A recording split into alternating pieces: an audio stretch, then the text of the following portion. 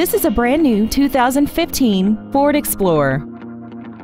This SUV has an automatic transmission and a 3.5-liter V6. Its top features include a multi-link rear suspension, aluminum wheels, roof rails, and traction control and stability control systems.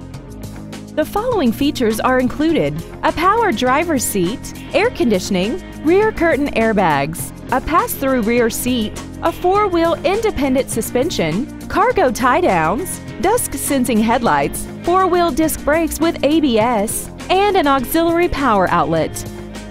Please call us today for more information on this great vehicle. Two Rivers Ford is located at 76 Belinda Parkway, I-40 exit 226 Mount Juliet Road at Providence. Our goal is to exceed all of your expectations to ensure that you'll return for future visits.